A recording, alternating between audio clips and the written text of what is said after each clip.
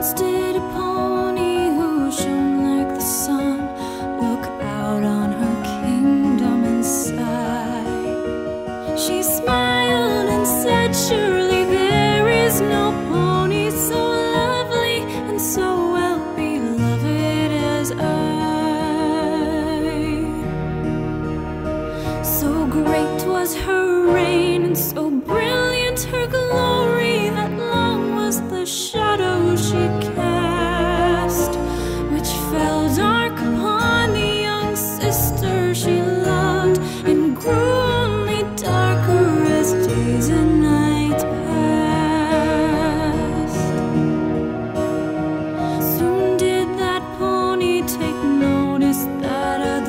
did not give her sister due.